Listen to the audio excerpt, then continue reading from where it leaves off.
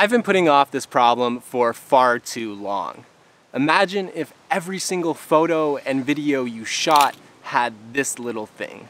It's small, sometimes barely noticeable, but it's always there in every photo and dancing around in every video. For the past year, this annoying little thing has been ruining the precious memories I try and capture.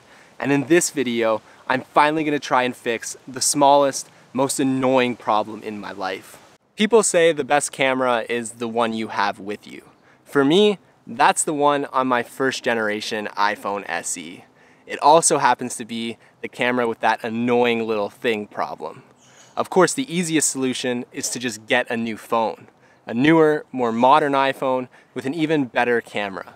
But the truth is, this tiny iPhone SE does things the newer ones just can't. I like being able to reach all four corners with one hand. And I like the way it comfortably slides in and out of my pockets, back or front. I like the design and the home button with its built-in fingerprint sensor. I like how the camera doesn't stick out, but instead sits flush with the back of the phone. And I like the way it fits perfectly into the slot of my car. I like that I can plug in both an auxiliary cord and a charging cord at the same time. And I especially like that it takes great photos and shoots beautiful 4K video. About the only thing I don't like about this phone is this annoying little thing that shows up in all of them. But it wasn't always this way. In fact, the iPhone SE I use today was not the one I used in the past. To understand how this phone and this problem entered my life, I need to introduce you to my friend Curtis and my old iPhone SE. Curtis shares my love for this phone. For years, he and I used the exact same phone. Same color, same 128 gigabytes of storage. While all our other friends were upgrading to newer models, he and I stuck with our first generation iPhone SEs.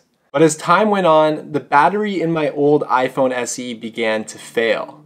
I replaced the battery myself, but while lifting up the display glass, I accidentally tore the delicate cable that connects to the home button and fingerprint sensor.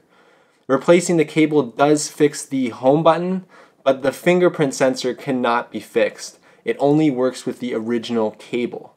Once that cable is broken, you lose Touch ID functionality forever. I still use the phone, but since the home button and fingerprint sensor no longer worked, I had to instead use a floating on-screen home button and manually type in my passcode every single time. And that new battery I put in would either drain super fast or just randomly die. But I continued to use my old iPhone SE like this for months, because to me, the pros still outweighed the cons. If I were to replace it, I'd want the exact same model. But since it's such an old phone, trying to find a 128 gigabyte storage model in good condition with a good battery is almost impossible. And that's where Curtis comes in. Last summer, while at Curtis's house, I noticed he had gotten a new phone. I asked what happened, and he explained that the battery on his old iPhone SE also began to fail, and he took it as an opportunity to upgrade. He still decided to get the battery replaced, however, but unlike me, he took it to a repair shop that was able to replace the battery without damaging that delicate home button fingerprint sensor cable. And ever since Curtis had gotten his new phone, his old iPhone SE was just sitting around with its fresh battery and fully functional home button and fingerprint sensor not being used. Holding Curtis's old iPhone SE in my hands, I thought this is it. This is exactly what I've been looking for. No longer would I have to manually type in my passcode, and no longer would I have to use the annoying on-screen home button. So I decided to make Curtis an offer for his old iPhone SE. An offer that I knew he couldn't refuse. But he did. So I doubled the offer and he still refused. I didn't understand why. Curtis is a good friend of mine and he wasn't even using that phone anymore. Then, a couple months later, Curtis gifted me his old iPhone SE, free of charge. Knowing how much I liked the phone, how hard it was to get, and the problems with my old iPhone SE, he was simply waiting for the perfect time to gift it to me. Curtis is a great friend, and the phone I use today is actually Curtis's old iPhone SE. The first few months were great.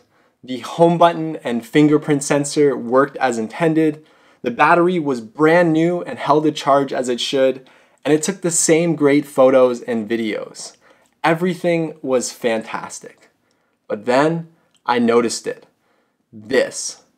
Every single photo and video I've taken since getting this phone, it's there. At first I thought, well, maybe it's just something on the lens, so I tried to wipe it off.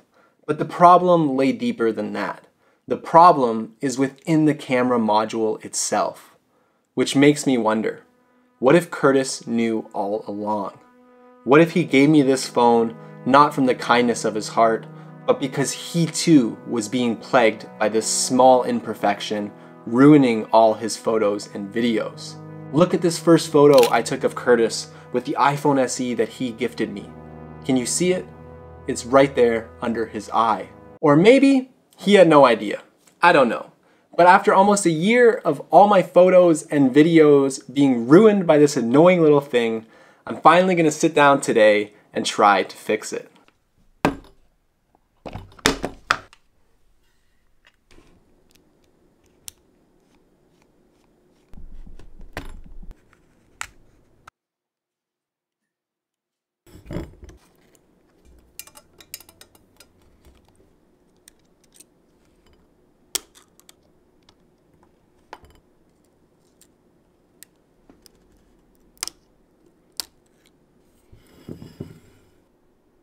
Here I'm taking out the camera from my old iPhone SE.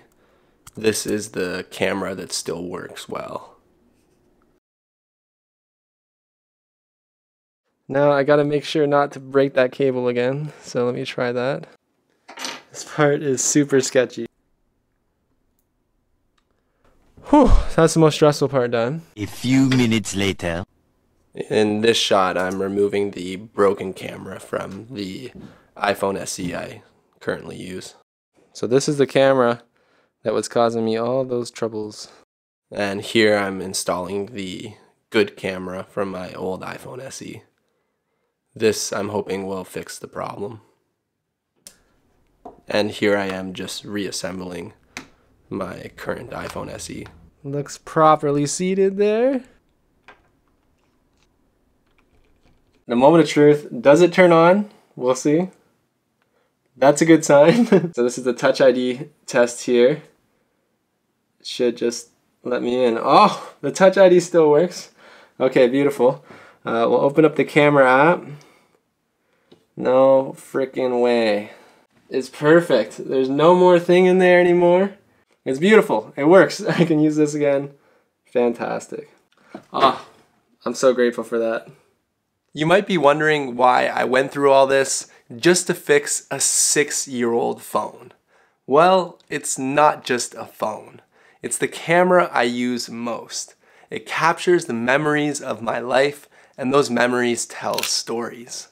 This might have just been a small phone repair, but getting it done means I can continue to use my favorite phone, and now I'll be able to enjoy every photo and video I take with it. It's so easy to put off these small, minor problems, but if we just take the time to sit down and fix them, our lives can be a lot better as a result.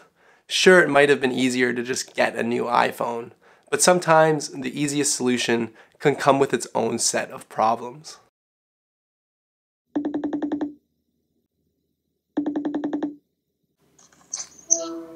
Curtis, buddy. Ryan. How's it going? Good. How are you? Good. I gotta ask you a question about this iPhone SE that you gifted me. Did you know that the camera had a little thing that shows up in every single photo when you gave it to me? Does it really?